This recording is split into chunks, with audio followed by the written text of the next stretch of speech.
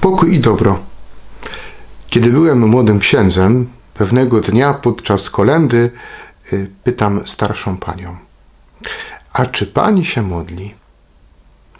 A czy ksiądz nie wie, że bez Boga ani do proga?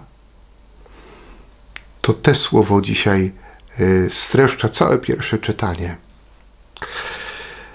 Król Joakim, który rządzi w Izraelu, nie cieszy się tą, tymi rządami zbyt długo, ponieważ Nabuchodonozor, y, król Babilonii, y, zdobywa Izrael, deportuje jego naród, ksią książęta i żyją sobie jakoś, ale deportowani. Ezechiasz zostaje y, królem marionetkowym. Nabuchodonozor, król Babilonii, zawiera przymierze z Sedecjaszem i z bóstwami pogańskimi. Sedecjasz z kolei przestaje słuchać Boga, żyje jakby go nie było.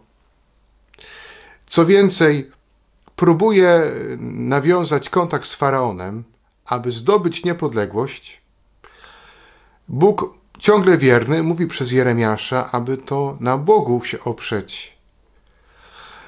Jaki finał sprawy? Sedecjasz traci oczy, trafia do niewoli. Świątynia jerozolimska zostaje zniszczona. Zgliszcza i bieda. I nieraz, kiedy człowiek traci majątek, traci rodzinę, przyjaźń, kiedy traci Pana Boga z oczu i wydaje się, że, że już jest życie przegrane, nagle życie zaczyna się od nowa. I to nie tylko reklama, konkretne życie.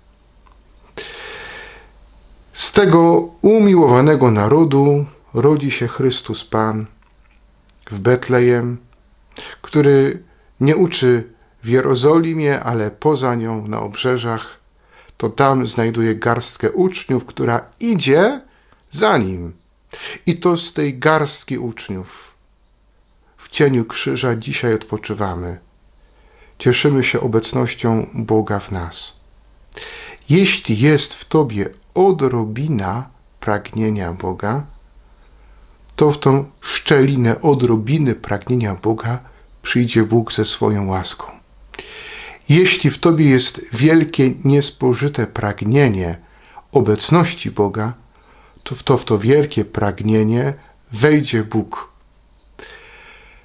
Słuchali Go, o ile mogli Go zrozumieć. Czy jest we mnie pragnienie słuchania, karmienia się Bogiem?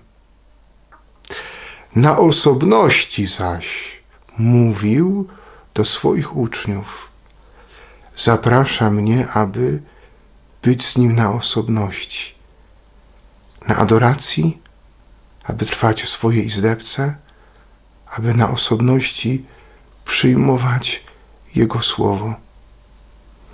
Święty Paweł doskonale wie, że przyjdzie taki dzień, kiedy stanie przed Bogiem z całym swoim życiem. Jest w nim pragnienie nieba. Dlatego chce się Jemu podobać, cokolwiek robi, gdziekolwiek jest. Komu ja chcę się przypodobać? Dla kogo żyję? Do zobaczenia.